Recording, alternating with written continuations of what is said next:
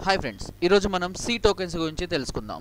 So tokens అంటే అర్థం ఏంటంటే సిలో ప్రోగ్రామింగ్ రాసే ప్రతి ఒక్క పార్ట్ని కూడా ఒక టోకెన్ అంటాం. అంటే ఇంటిజర్స్ కానివ్వండి నెంబర్స్ కానివ్వండి లేదంటే కీవర్డ్స్ లెటర్స్ ఏబిసిడీలు సెమీకోలర్ పుల్ స్టాప్ సో ఒక్కొక్క దాన్ని ఒక్కొక్క టోకెన్గా పిలుస్తూ ఉంటాం. సో ఇప్పుడు ఆ టోకెన్స్ ఏంటో మనం తెలుసుకుందాము ఓకే ఫస్ట్ వచ్చేసి కీవర్డ్స్ సో కీవర్డ్స్ అంటే అర్థం ఏంటంటే ఆల్రెడీ సిస్టంలో రిజర్వ్ చేయబడినాయి okay fixed meaning and meaning cannot be change ఎప్పుడు వాటి మీనింగ్ కూడా ఫిక్స్డ్గా ఉంటుంది అన్నట్టు and basic building blocks program statements already programs కోసం బిల్డ్ చేయబడి ఉంటాయి అవి.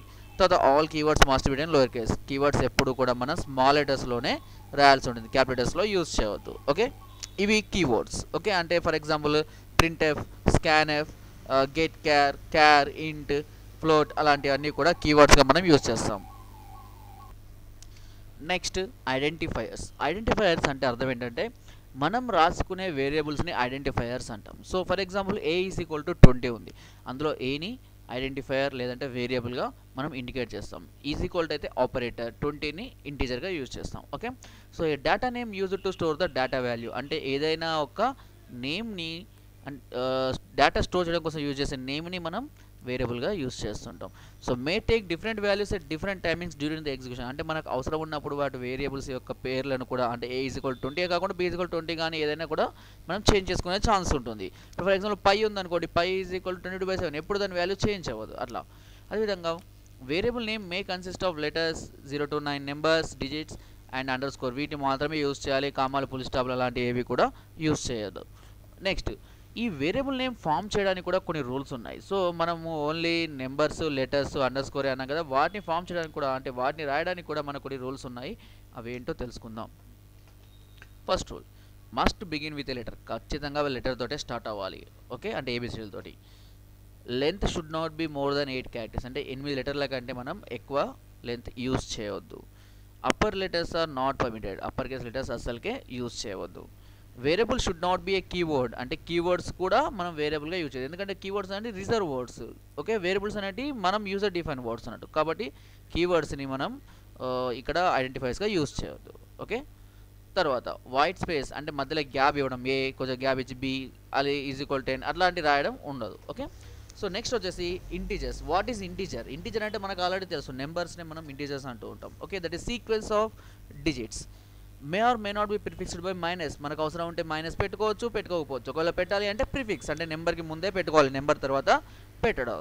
అలాగే వైట్ స్పేస్ ఇవ్వద్దు. కామాస్ కానీ నాన్ డిజిట్ క్యారెక్టర్స్ కానీ ఏవి కూడా ఇది పర్మిట్ చేయదు. ఓకే దట్ ఈస్ ఇంటీజర్ సింపుల్గా చెప్పాలంటే.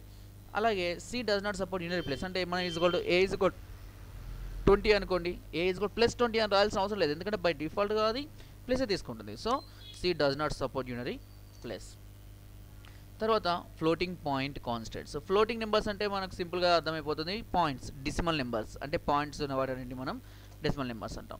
ఈ డెసిమల్ నెంబర్స్ అన్నీ కూడా బేస్ టెన్ అందుకని ఇప్పుడు మనకు టూ పాయింట్ ఫైవ్ ఉందనుకోండి దాన్ని ట్వంటీ ఫైవ్ బై టెన్గా మనం రాస్తాము. ఆ టూ పాయింట్ ఫైవ్ ఫైవ్ ఉంటే two fifty five by hundred అంటే పాయింట్తో ఎన్ని నెంబర్స్ ఉంటాయి అన్ని టెన్స్తో డివైడ్ చేస్తాం కాబట్టి దీన్ని బేస్ టెన్ నెంబర్ అంటాం. అందుకే డెసిమల్ డెస్ అంటే టెన్ అని అర్థం అన్నట్టు.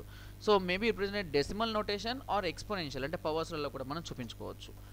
అలాగే ఇక్కడ కూడా white space is not allowed okay next వచ్చేసి స్ట్రింగ్స్ సో స్ట్రింగ్స్ అంటే characters words group of characters ఒక వర్డ్ని ఒక స్ట్రింగ్గా యూస్ చేస్తూ ఉంటాం. ఓకే వాటిని స్ట్రింగ్స్ అంటాం.